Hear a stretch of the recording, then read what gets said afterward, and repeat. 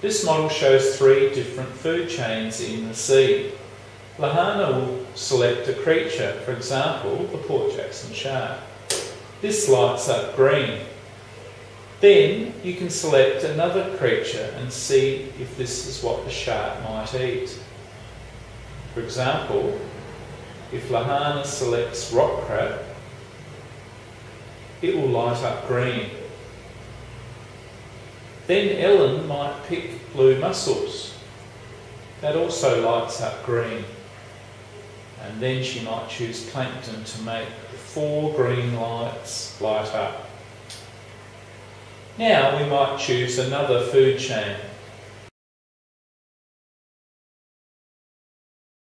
If you choose snapper, it will light up blue.